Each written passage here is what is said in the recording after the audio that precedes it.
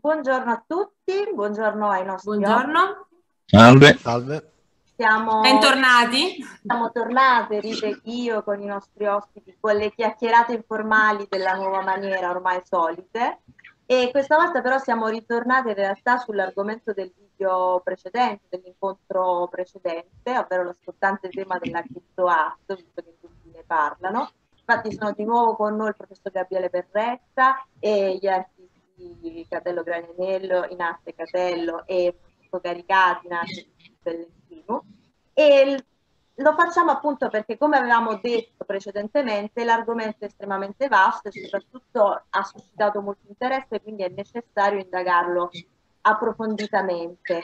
La volta precedente, infatti, abbiamo cioè, provato ad addentrarci all'interno di quello che è la crypto art, delineandone i tratti, le dinamiche, e, e, soprattutto cercare di capire il campo d'azione di quest'arte, questa community, questa vastissima community di cui ci hanno parlato gli artisti stessi, una community che a quanto pare opera parallela già da parecchio tempo, parallela a questo sistema dell'arte che, ha, che è già codificato e questa community cerca, sta tentando di scardinare, di, di scardinare certi muri e di entrare all'interno in maniera completamente diversa nel sistema. Appunto, abbiamo fatto una piccolissima introduzione la volta precedente con, con gli artisti napoletani della, uh, della community, questa volta però vogliamo cercare di capirla meglio. Proprio per capirla meglio abbiamo chiesto espressamente ai nostri artisti ospiti di provare a trasmetterci il loro pensiero, il loro operato anche attra- attraverso le opere stesse, quindi provare a mostrarci quello che fanno giornalmente, come lo fanno, perché lo fanno soprattutto, però lo possiamo capire solo ed esclusivamente attraverso i nostri occhi. Assolutamente sì, però assolutamente sì, però prima di, insomma, di vedere le opere, siamo molto curiose, curiosi di vedere le opere dei nostri ospiti, dei nostri artisti, Vorrei fare una domanda al professor Perretta, una domanda un po' più tecnica, perché tra i feedback che abbiamo ricevuto la volta scorsa c'è anche chi ci ha chiesto, sì, ma che cos'è un'opera d'arte digitale? Magari ci sono delle persone che non fanno parte del nostro mondo, che ascoltano i nostri incontri, le nostre chiacchierate appunto informali e quindi alcune persone si sono chieste la genesi del discorso, cioè che cos'è un'opera d'arte digitale. Quindi io chiederei al professor Perretta, chiederei a te Gabriele, brevemente di introdurci un po' alla materia e poi passiamo insomma alle opere dei nostri artisti e discutiamo con loro dei loro lavori. Ok, bene, io accolgo subito questa uh, indicazione e cerco di uh, in qualche modo di essere anche molto breve eh, sintetico per quanto riguarda la definizione di arte digitale e soprattutto una, con un'anticipazione, cioè eh, hanno ragione questi qui a lamentarsi, eh, soprattutto in Italia, se, insomma, eh, quindi escludendo la cultura del web eh, per quanto riguarda l'informazione sull'arte digitale, perché la questione dell'arte digitale in Italia insomma è, è stata approfondita sin dall'inizio, però ehm, anche sul web, anche sul web, ma ehm, soprattutto sul cartaceo, eh, esiste poco materiale storico per informarsi, no? E le informazioni praticamente sono un po' deviate, devo dire, come, come usanza dell'Italia, insomma, nel fare storia. Eh, quindi da questo punto di vista è molto difficile No, è molto difficile rendersi conto di che cos'è l'arte digitale. Chiaramente, insomma, eh, è, è, qualcosa che parte da molto lontano e parte dalla, dalla, scoperta del segnale stesso digitale, quindi insomma negli anni 60 ha avuto varie praticamente eh, conformazioni, diciamo così, e eh, così come abbiamo accennato l'altra volta, praticamente i campi del digitale sono diversi, sono estremamente diversi fra di loro, cioè per esempio possiamo parlare da una parte di arte digitale, eh, quando parliamo di arte digitale possiamo intendere arte generativa, per esempio, no? che significa una cosa all'interno del discorso eh, per esempio di casi storici come Brianino, no? Oppure parliamo di arte digitale se parliamo nel campo delle arti visuali della risoluzione nella composizione dell'immagine, no? Quindi, eh, e quindi il passaggio anche nel cinema e nel videoclip eh, dal, dal, dal, dall'analogico al cosiddetto digitale.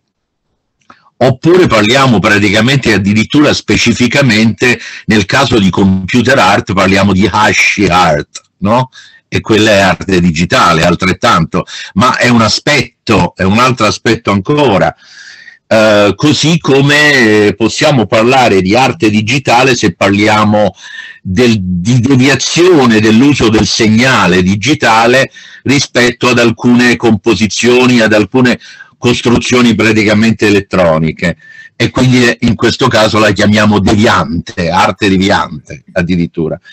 Possiamo parlare praticamente del, del gioco dell'ingrandimento del pixel, quindi di pixel art, no? E quindi Ci avviciniamo caso... anche un attimo al, okay. alla criptoart. Alla criptoart e quindi in questo caso cioè, così come parliamo per esempio storicamente della disputa fra medialismo e immagine mediale e pittura digitale per esempio, no?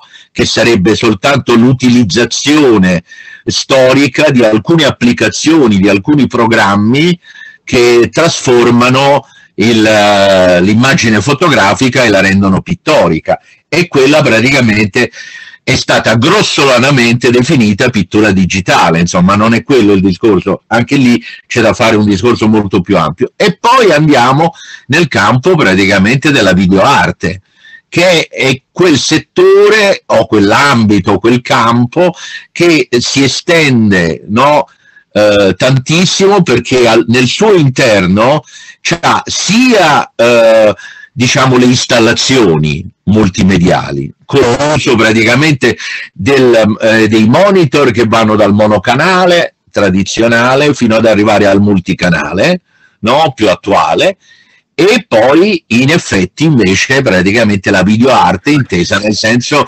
di eh, registrazione di alcuni di alcuni, di alcuni fenomeni performatici no? che vengono, quindi la videoarte viene usata come eh, documentazione insieme dall'altra parte poi alla, al, al, videoclip, no? che arriva fino al videoclip musicale, no? che, che, che, devo dire, insomma, io sono di parte perché è quello che mi piace di più, insomma, è quello che, che ho frequentato di più storicamente ed è quello che eh, rappresenta in senso totale, ma lì andiamo verso una produzione quasi generalista.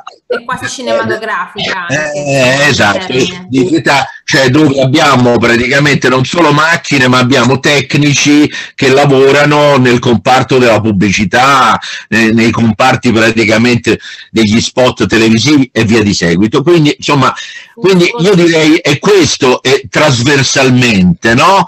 E quindi in questa complessità va, va insomma richiede, richiede degli approfondimenti enormi, insomma. Assolutamente, insomma, giusto per, per, fare appunto, come dicevi tu, una sorta di quadro generale e trasversale. Certo.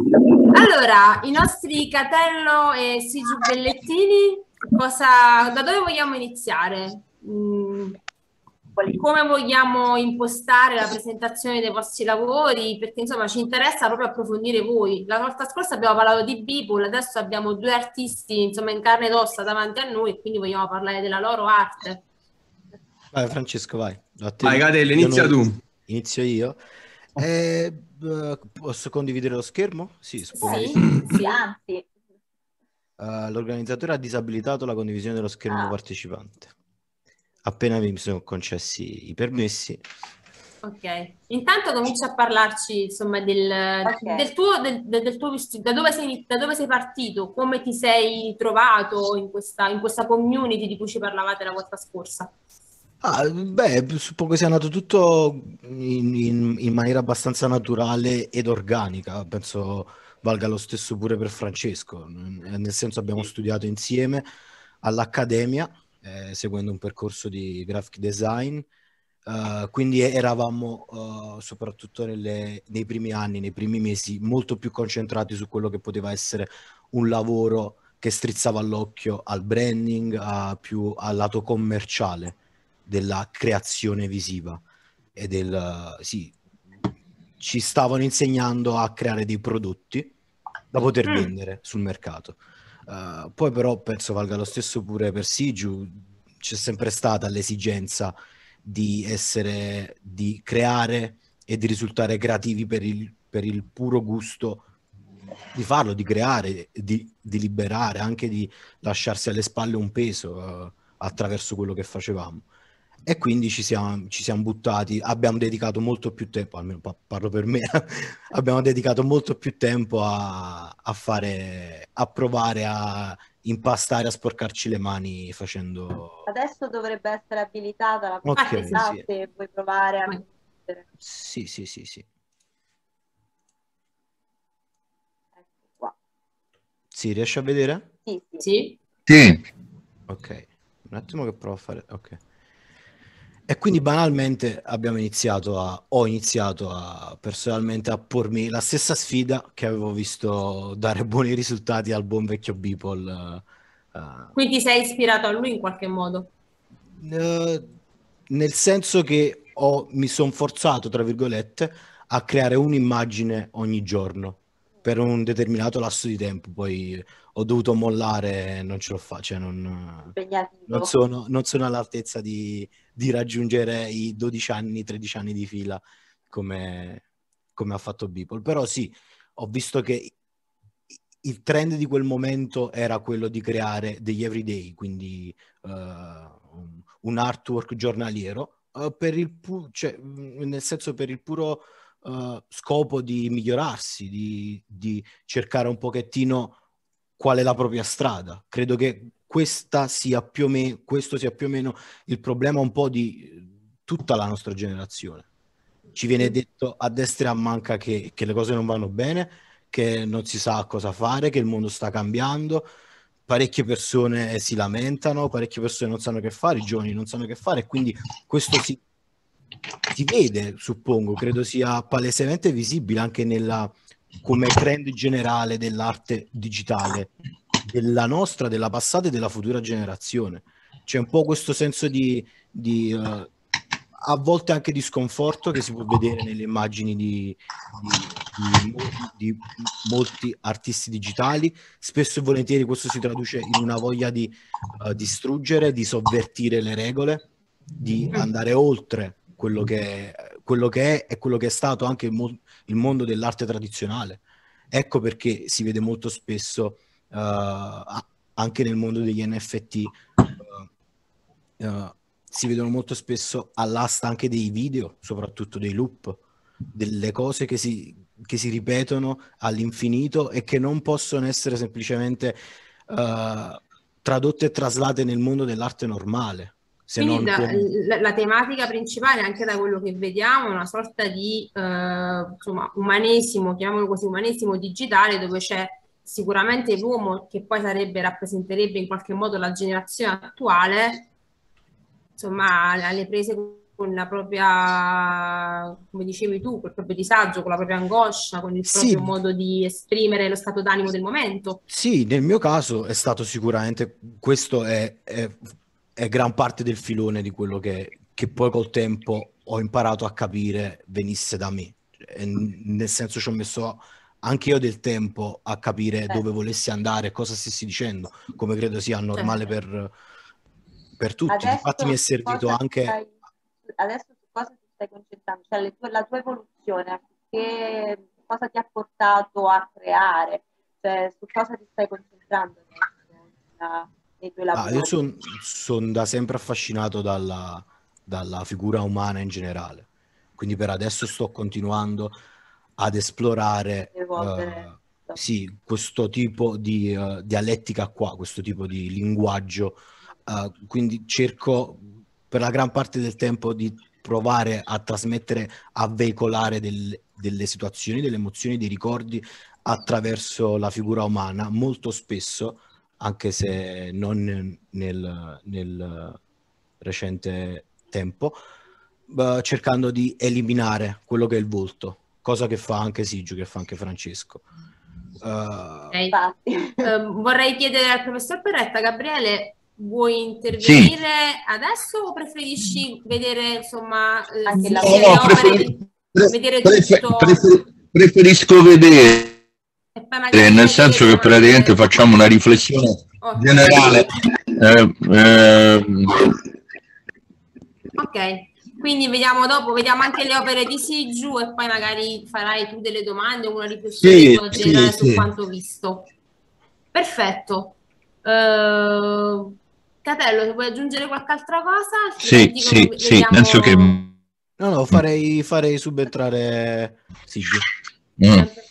Ok, che abbiamo sempre qui... È molto più disordinato, quindi... Eh, non fa niente, insomma. il computer è il nuovo specchio dell'anima. eh.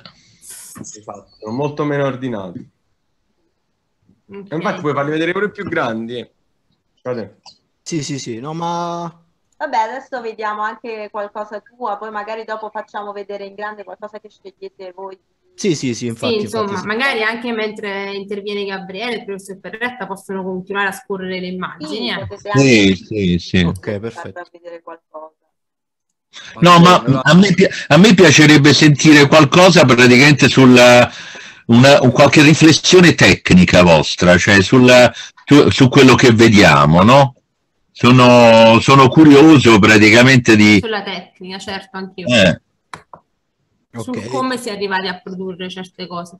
Allora, qui queste sono tra le immagini a cui sono più affezionato e fanno parte della serie uh, Asimov, del progetto Asimov. Ah. Qui, per esempio, è, è, palese che abbia spinto sul uh, abbia cercato in tutti i modi uh, di giocare, di ruotare attorno allo studio delle luci. Mm. Base più che altro il lavoro che faccio io è sì digitale, ma è molto affine a quello che uh, mi permetto di dire, cioè, mi, uh, molto affine a quello che può essere il lavoro di un fotografo, suppongo. Nel certo. senso do molto spazio e dedico molto tempo alla ricerca di una posa specifica uh, mm. degli umanoidi, mm.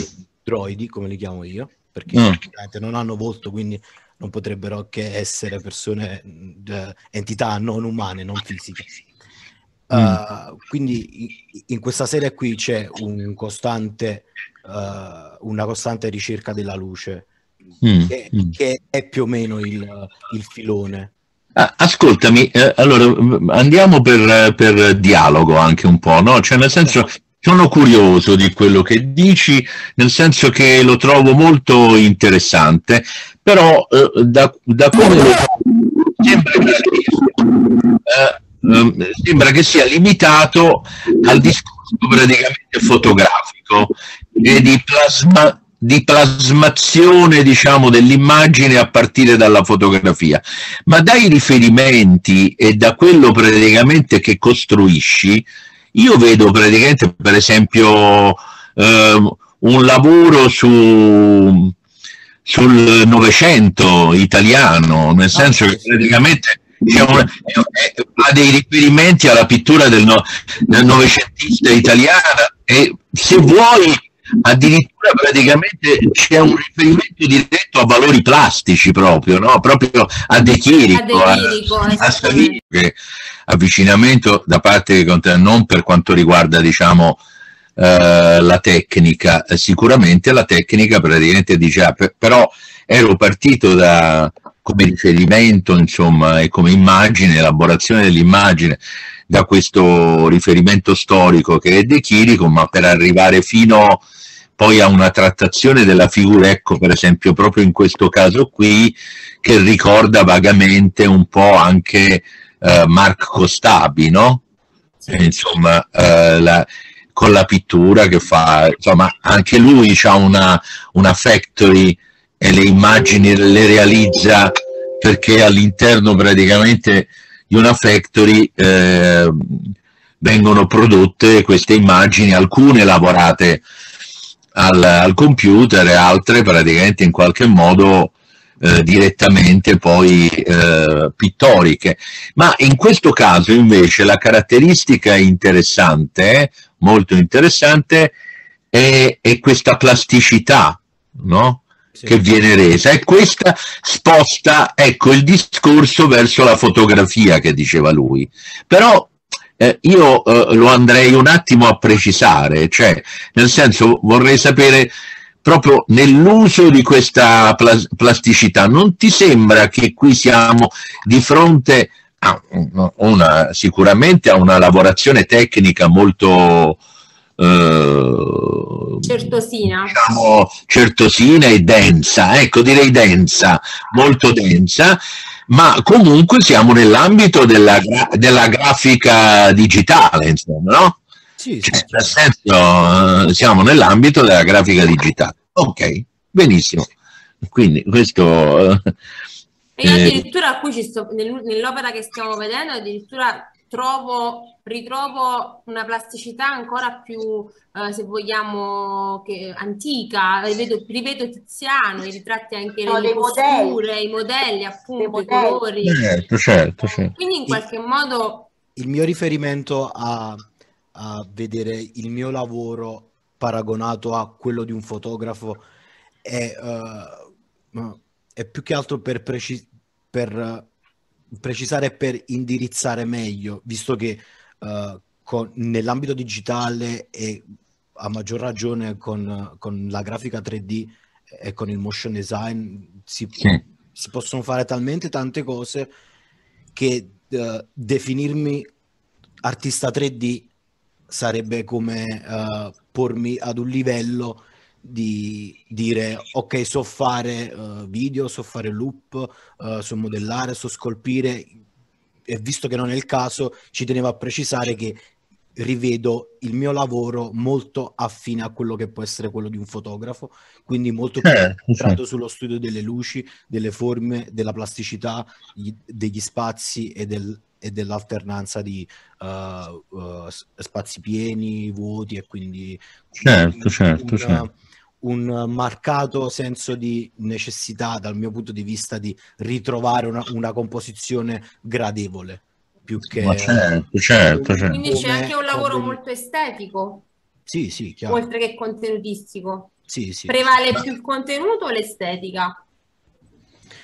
Uh, con questo progetto qui c'è una storia dietro, nel senso che il contenuto dietro uh, questo tipo di opere che richiamano e strizzano l'occhio ad un'arte più classica uh, hanno dietro una storia che io ho immaginato di un futuro du- nel quale uh, questi, uh, questi, esseri umanoidi, questi androidi, per cui il, il, progetto si chiama Asimov non a caso, esatto. ricreino come se fosse una sorta di messa in scena.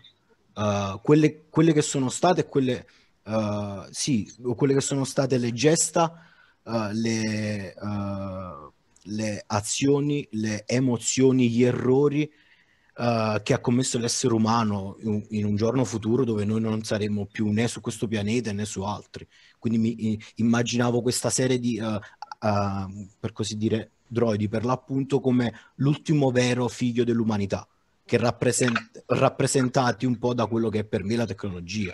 Io credo che la tecnologia sia l'ultimo vero figlio dell'umanità, l'ultima creazione che sta iniziando a creare con l'intelligenza artificiale, anche se in modo autonomo. Quindi credo che ci siano buone possibilità che la tecnologia non non per forza sotto forma di androidi senza volto, possa uh, far vivere, tra virgolette, in eterno quella che è la memoria dell'essere umano, di quello che abbiamo fatto di giusto, di sbagliato e dei sentimenti che abbiamo provato in questa vita. Mm, mm. In, una, in, una, sorta di, sì, quindi tu addirittura... di commedia eterna.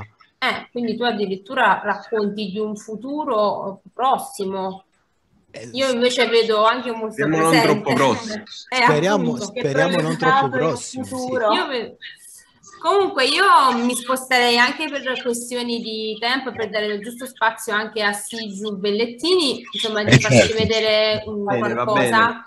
io Condivido il mio schermo. Esattamente. Ad esempio tu, Francesco, hai lavorato direttamente sulla, sull'arte pittorica, se non sbaglio. Ecco, infatti. Sì, allora, faccio vedere questo progetto perché il mio computer è molto disordinato, quindi questa è un po' una, una piccola sintesi. Eh, il progetto si chiama Reborn Paintings. Sì. È un po' la mia idea qua è stata di... è stata di fare una ricerca su quadri che mi colpissero particolarmente e poi sono andato a intervenire creando qualcosa di, di moderno nel senso di più vicino alla nostra estetica da questo punto di vista e fondamentalmente come fa anche Catello alla fine tolgo le facce questo è un punto diciamo da cui non si prescinde l'unica cosa la grande differenza è che Catello non le buca, le appiattisce. Per me alla fine sono degli involucri vuoti. Cioè io ho capito quest- da questo quadro che è un ritratto, ho creato una natura morta nella mia testa. Mm. E quindi alla fine l'essere umano, visto come alla fine un involucro estetico senza contenuto. Quindi eh, racconti una, un aspetto dei nostri tempi, fai una critica anche a questo? O almeno io ci vedo questo. È possibile, è possibile. In realtà sono molto istintivo quando lavoro, non, ehm, cioè, a volte ci cerco un senso preciso in quello che faccio e altre volte invece, cioè, tipo qua per esempio, la mia idea era proprio di costruire un cyborg, no? Mm-hmm. Partendo da questo, quindi anche questo contrasto tra i costumi, tra costumi molto pomposi e la semplicità poi del design di questa faccia schermo che c'ha un telecomando in mano. Questa cosa dell'appiattimento dei volti o comunque del nascondere la fisionomia dei volti per noi sempre un po' profani, parlo per me, che, con, che, conos- che, conosco poco questa community, è un tratto che contraddistingue, una casualità che contraddistingue solo te Catello o è un fil rouge, insomma, che... No, è una, più, una più cosa che tra l'altro... Allora, è una cosa che tra l'altro sono arrivato al punto in cui vorrei cercare di studiarla, perché si fa sicuramente da prima di Meccatello, ma tantissimi lo fanno e lo continuano a fare eh, certo. E, e, probabilmente ha un'origine nella, nel dipinto del, del, signore con la mela davanti alla faccia di Magritte, credo. Cioè, nel senso che quella immagine evocativa di qualcosa, cioè di, del fatto che togliere l'attenzione dalla cosa su cui tutti mettevano l'attenzione, che è il volto. Certo. Quindi quindi posso, posso, dire un attimo, allora quindi ci risiamo praticamente rispetto al confronto storico con la memoria o della metafisica o dei valori plastici oppure del surrealismo, quindi insomma nel senso che in qualche modo quando abbiamo a che fare con l'immagine eh, a, tutto, a tutto spiano, in qualche modo bisogna bisogna confrontarsi per forza di cose con questo universo iconico, eh, soltanto che qui, in questo caso qui, rispetto al lavoro di prima, ci troviamo, ci, ci troviamo di fronte a un discorso un po' più concettuale. Cioè, nel senso, non so quanto, da quello che dice lui, non, non so quanto è consapevole no, di questa di questa concettualità perché dice che è istintivo, però insomma invece io vedo che la trattazione è, è sempre il rapporto, il confronto fra analogico e questa ricerca di questa tridimensionalità, diciamo, questi sono dei, dei cyborg in evoluzione, no? Cioè, mentre i suoi sono in evoluzione, quelli di Catello, questi sono in devoluzione, ma insomma siamo lì e, e siamo, siamo, sempre all'interno diciamo, di questa ricerca della grafica digitale, no? E, e seco, secondo me, eh, secondo me insomma, questo è, è interessante, no? E, in questo caso, con questa utilizzazione di un po' dell'armamentario retorico della pittura, no? C'è, eh, c'è l'utilizzazione di questo armamentario retorico della pittura e di spostarlo un attimo, no? di, di deviarlo, insomma, di deviarlo e, e, di, di capovolgerlo, non di capovolgerlo come facevano i dadaisti, ma di capovolgerlo all'interno dell'immagine stessa. Insomma. All'interno no? dell'estetica, direi. Eh, eh, Però um, c'è, c'è è, un contro, me... è un controlinatorio, ma sempre lì siamo però, eh? ok.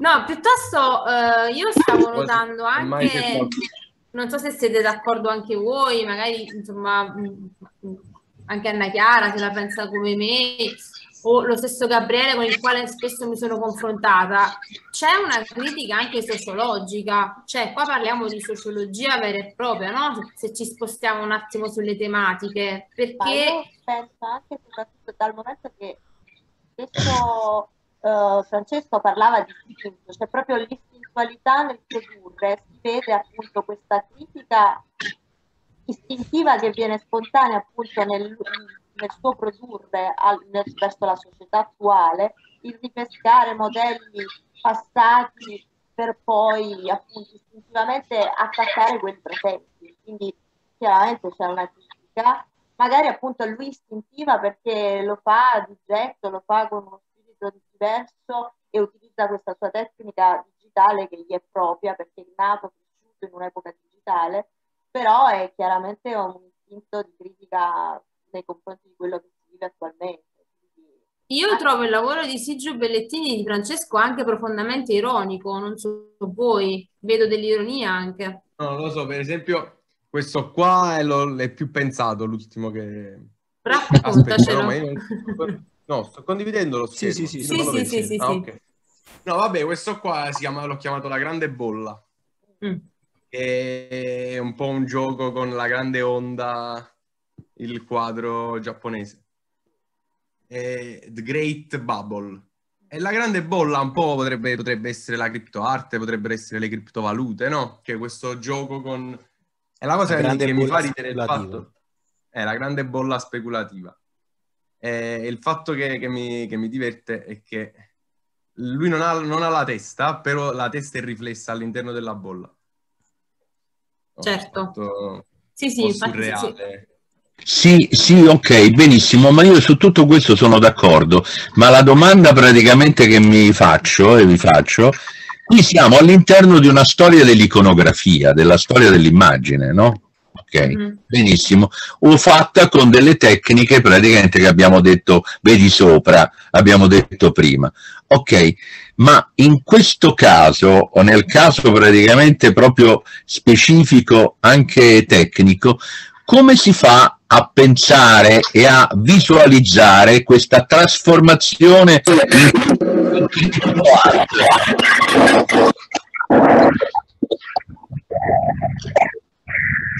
L'ultima parte della, della domanda. Eh, cioè, come si fa? Se puoi disattivare il microfono perché c'è, c'è il ritorno.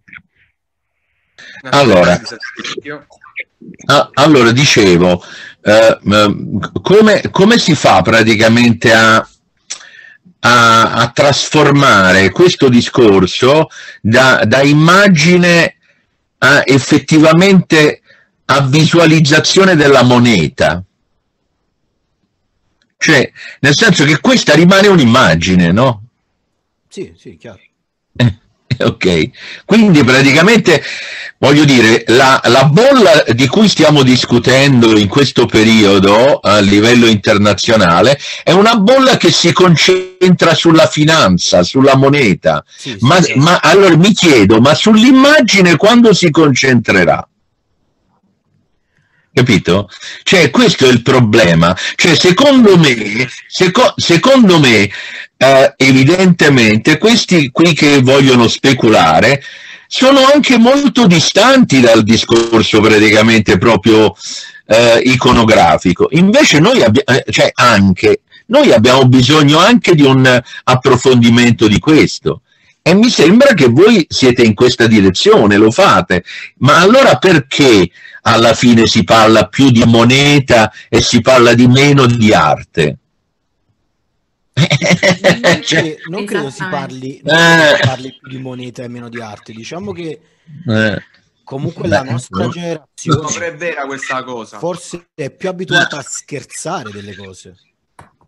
No, non lo so, guarda. Allora, se, allora, guarda, guarda, allora questo, quello che dici, scusami, no, rispondo a questa cosa perché è molto provocatoria. Se la tua generazione, allora a questo punto, è abituata a scherzare della cosa, allora la mia, praticamente, che è quella punk, è abituata a, a scassare addirittura. Che cosa vuol dire? Ma non no, c'entra, però, che, voglio dire, che, che, che c'entra? Eh, cioè, no, non è questo il problema. No, il problema non è generazionale, il problema è che se lo poniamo soggettivamente, sicuramente noi dobbiamo par- parlare anche del sing- della singola esperienza artistica e biografica. Tu sei una biografia.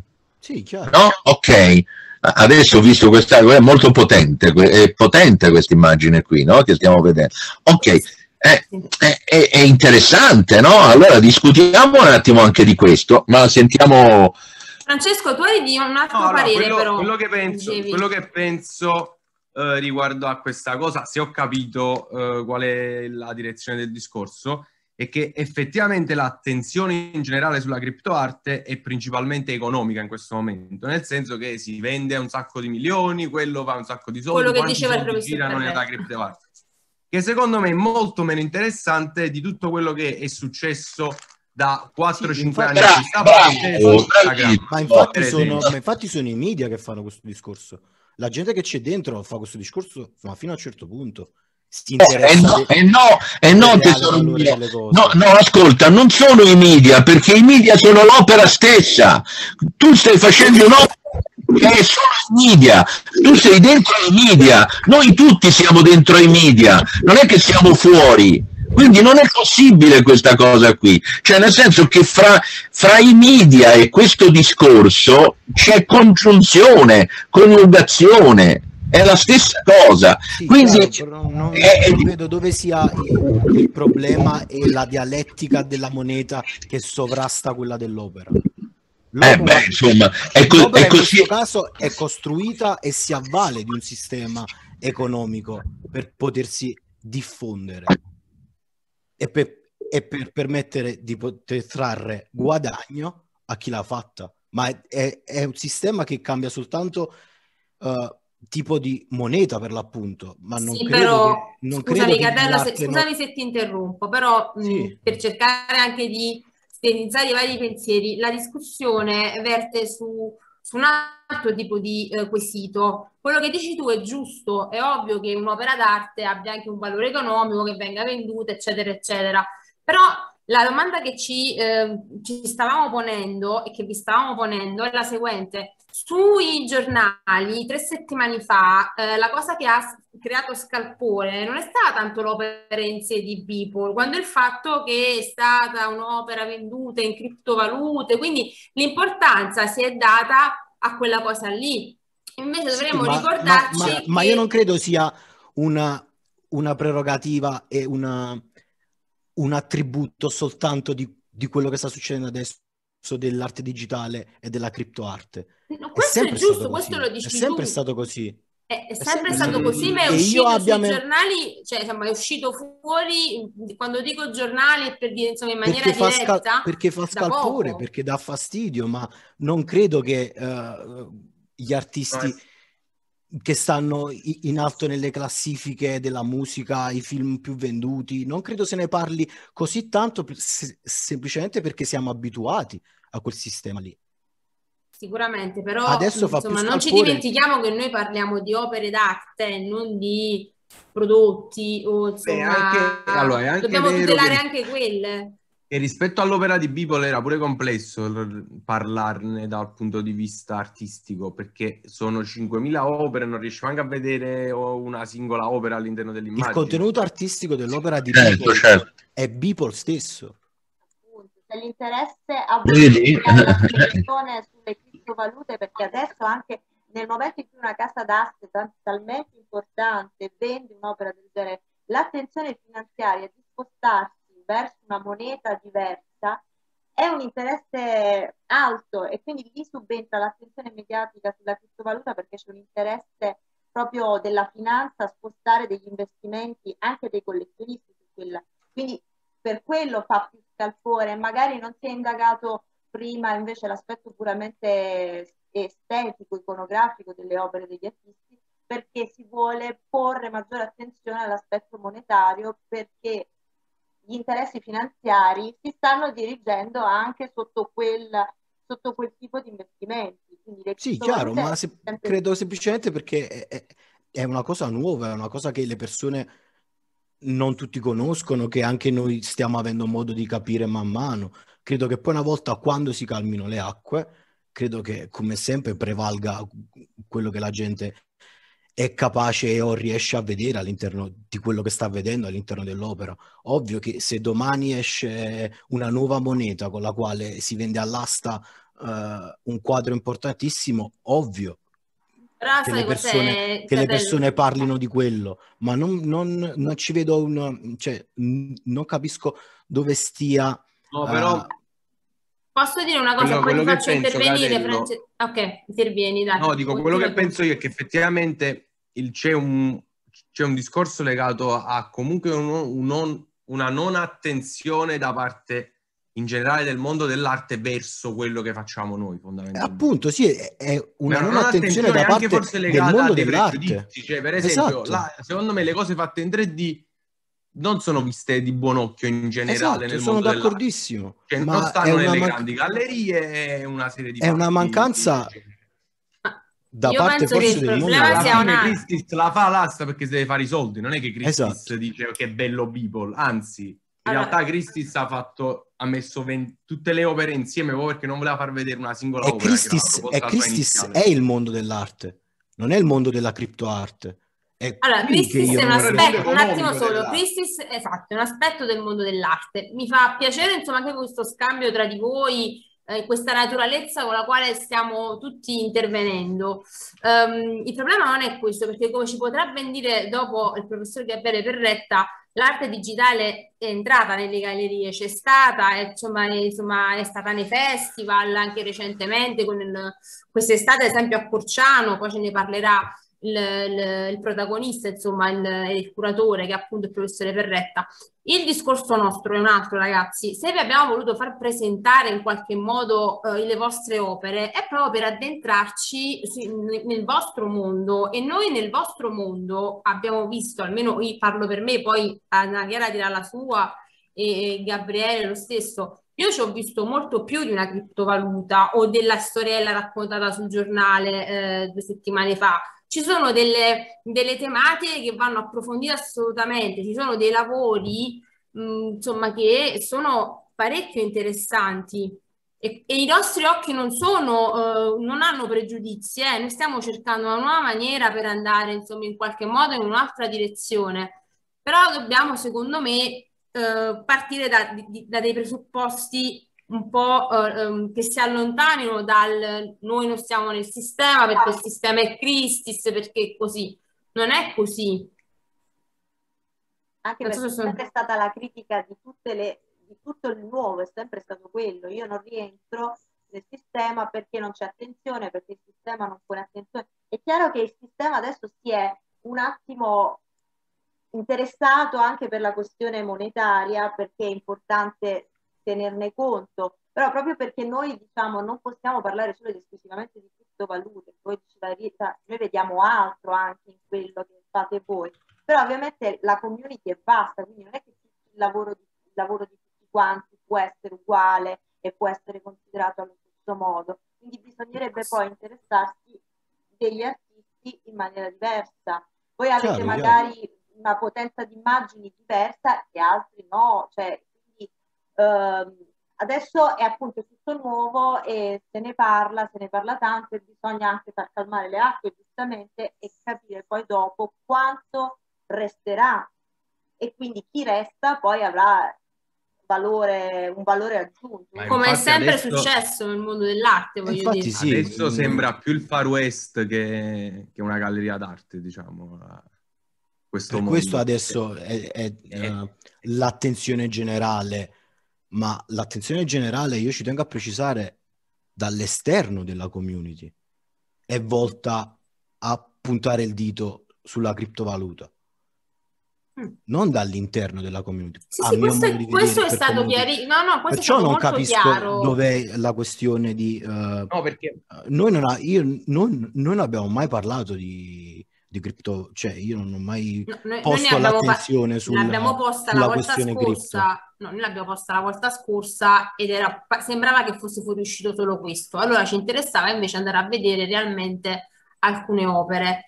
E Francesco, se non sbaglio, No, già settimana scorsa comunque. dicevi come?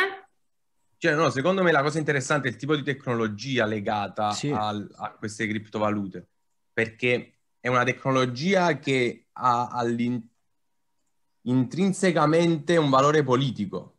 Esatto, sì.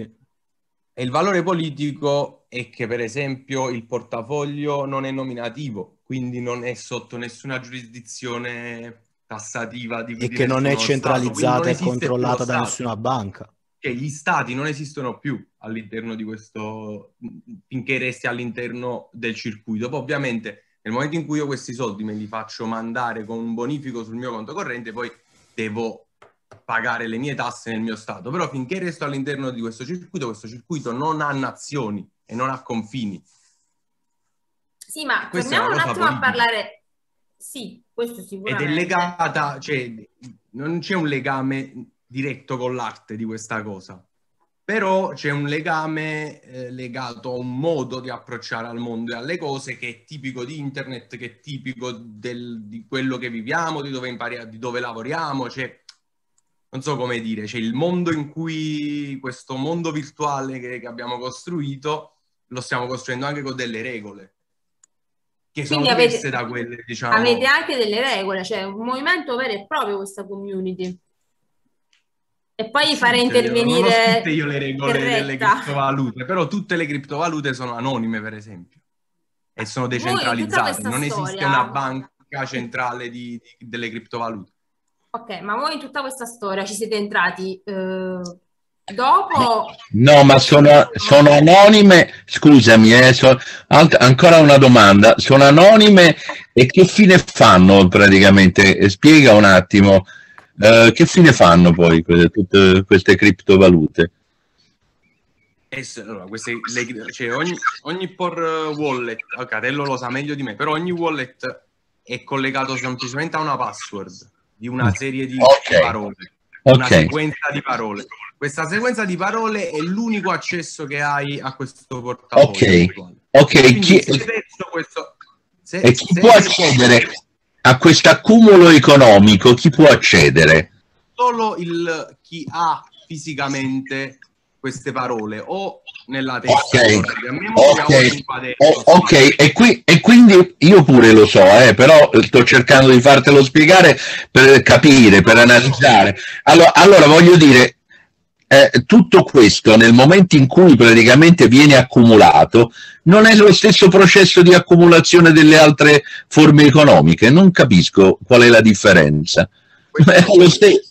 Eh, e, al- e al- e qual è la novità? Qual è la novità di questa cosa? Che tu dici praticamente è, è- è interessante perché è un accesso anonimo e per tutti. No, cioè, è privilegiato un'economia al posto che un'altra, no? Eh? No, nel senso permette, permette di pubblicare e di mettere all'asta lavori di chiunque voglia. Che non, è la Ok, stessa, e vabbè. non è la stessa cosa di presentarsi ma questo va benissimo. dell'arte digitale e bussare alla porta di una galleria. Certo, vabbè, c- certamente, certamente. Vabbè, eravamo in un'altra fase però, quella lì, quando si faceva questo. Eh, al- allora, le, le- le cose storicamente poi cambiano, ma adesso, cioè, secondo me non si tratta di criticare le fasi precedenti, si tratta di capire piuttosto questa qua- fase qui. Voi dite che porta beneficio a tanti, ma vogliamo vedere in che modo porta beneficio a tanti? Cioè, capiamo un attimo, io, io, è questo che non ho capito ancora, cioè non, non capisco qual è il beneficio che porta a tanti, sinceramente, e ho delle perplessità al riguardo. Nel piccolo, nel piccolo io ho visto nel, cioè, nella, una buona percentuale dei, dei, dei giovani dei giovanissimi che fanno parte di questa community che ho visto avere successo nell'ultimo periodo hanno estinto i debiti con, con la scuola in America, dove il debito scolastico è forte, hanno lasciato il, un lavoro da studio che li faceva soffrire, a, sta letteralmente cambiando attraverso sempre un discorso economico. E quindi un tornaconto da, dal punto di vista puramente speculativo, sta cambiando la vita di migliaia di ragazzi, di giovani, giovanissimi ma, ma anche di persone in generale. Perché non, mettendo... non centinaia, migliaia, dici tu addirittura. Migliaia, sì, sì, sì. Okay, okay. Perché, perché semplicemente c'è sì. la possibilità di avvalersi di un sistema più democratico, a mio modo di vedere, perché permette semplicemente a chiunque sappia usare un computer di creare un wallet, iscriversi a un sito e pubblicare le sue cose e metterle quindi a disponibilità di chiunque qualsivoglia collezionista le voglia, le voglia e possa comprare. Chiedo scusa, mettendo... intervengo un attimo perché sì. mancano sei minuti ed è divertente come siamo, insomma, sulle conclu- stiamo per gettare le conclusioni, siamo arrivati allo stesso punto dell'altra volta, cioè certo. della democratizzazione, del, esatto. dello far scomparire in qualche modo le figure di riferimento come dice il curatore, insomma mi, mi divertiva in qualche modo il fatto che la conclusione fosse poi alla fine la stessa. Eh certo, certo. Chiederei veramente no, un minuto ciascuno, insomma, una, una riflessione di chiusura. Prego, prego.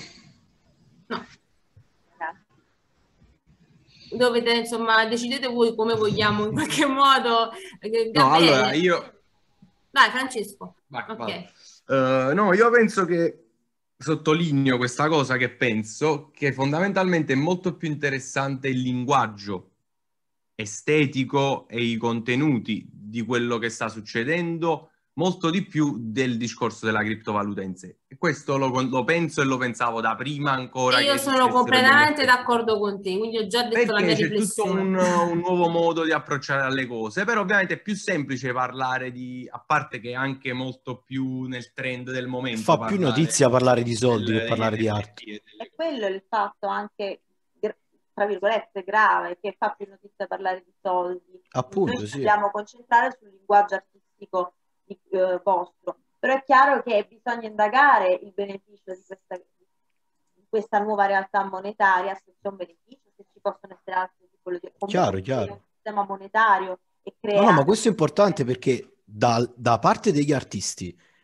se, se ci sono persone che hanno sempre pubblicato sui social e l'arte digitale esiste anche da prima che si fosse creato l'opportunità di venderlo attraverso le criptovalute, significa che da parte della comunità digitale l'intenzione di parlare d'arte e non parlare di denaro c'è sempre stata, altrimenti sarebbero nati gli artisti digitali il giorno successivo all'invenzione degli NFT. Noi invece abbiamo sempre pubblicato, abbiamo sempre costruito per il piacere di fare. Chiederei a Gabriele per proprio due minuti di conclusione e poi ci salutiamo. Sì, no, insomma, rapidamente, visto che insomma in qualche modo sono stato io il provocatore di questa suddivisione, adesso a questo punto chiudo riunendo. Allora, il...